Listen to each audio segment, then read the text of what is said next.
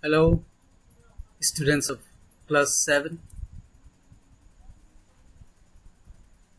I have answered this question number 4 from your lesson, the chess players.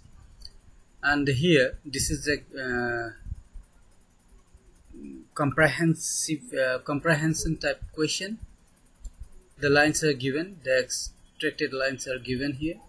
You can see they have the artillery too there must be some 5,000 men. Their faces so red, one is afraid to look at them. Sir, don't make excuses. Don't use these reuses. Check. You are a strange man. Here the city is in danger, and you you are only thinking of check and mate. Have you thought how we shall go home is if the city is besieged? So this is the extract. Now the questions. A. Where are the speakers at this time? What are they doing here? Why are they do, uh, doing this in this particular place? The speakers are at the deserted mosque. They are playing chess here. They are playing chess here so that no one can find and disturb. No one can find and disturb them. Here comes, uh, here the first slide comes to an end and for the remaining questions we will have to move on to the next slide.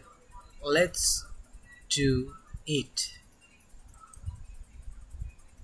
So here it is. Question b.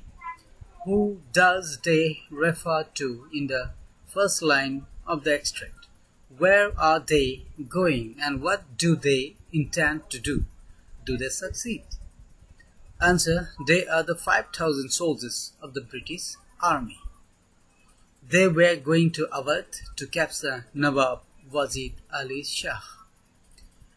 Yes, they had been successful in capturing Wazid Ali Shah without any commotion or bloodshed in the city. Now the final question of this question number 4, see that is explain what a second speaker means when he says, Sir, don't make excuses. Don't use these reuses. Now, the answer.